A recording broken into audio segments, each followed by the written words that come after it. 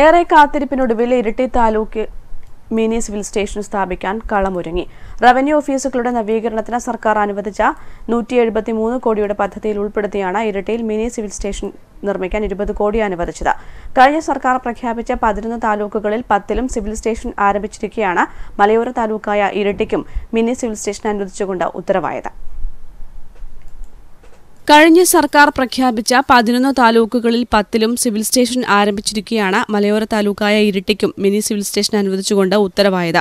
പതിനൊന്ന് താലൂക്കുകളിൽ ആദ്യം ഉദ്ഘാടനം കഴിഞ്ഞ് പ്രവർത്തന സജ്ജമായത് ഇരിട്ടിയാണെങ്കിലും മിനി സിവിൽ സ്റ്റേഷന്റെ കാര്യത്തിൽ തുടക്കം മുതൽ അവഗണന നേരിടുകയായിരുന്നു.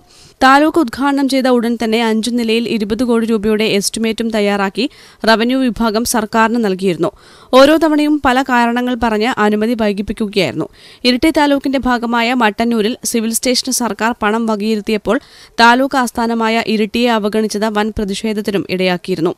മിനി സിവിൽ സ്റ്റേഷൻ നിർമ്മിക്കാൻ നഗരത്തിൽ തന്നെ റവന്യൂ വകുപ്പിന്റെ സ്വന്തമായി ഒരേക്കർ സ്ഥലവും ഉണ്ടെന്ന അനുകൂല ഘടകവും പരിഗണിക്കപ്പെട്ടിരുന്നില്ല.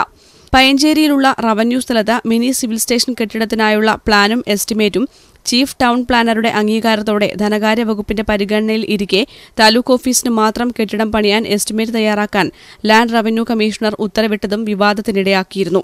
താലൂക്ക് ഓഫീസിന് മാത്രമായി കെട്ടിടം വേണ്ടെന്നും മിനി സിവിൽ സ്റ്റേഷനാണ് വേണ്ടതെന്നുമുള്ള നിലപാടിൽ എം ഉൾപ്പെടെ ജനപ്രതിനിധികളും എല്ലാ രാഷ്ട്രീയ പാർട്ടികളും ഉറച്ച നിലപാടെടുത്തു. ഇരിട്ടിയിൽ താലൂക്ക് അനുബന്ധമായി വരേണ്ടുന്ന ലീഗൽ മെട്രോളജിയും എക്സൈസ് സർക്കിൾ ഓഫീസും മട്ടന്നൂരിലേക്ക് മാറിപ്പോകാനുള്ള പ്രധാന കാരണവും സ്ഥലപരിമിതിയായിരുന്നു. ഏറെ വിവാദങ്ങൾക്കൊടുവിലാണെങ്കിലും സിവിൽ സ്റ്റേഷനായി പണം അനുവദിച്ച സർക്കാർ നടപടിയെ എല്ലാ രാഷ്ട്രീയ പാർട്ടികളും സ്വാഗതം ചെയ്തു. News bureau Iritty.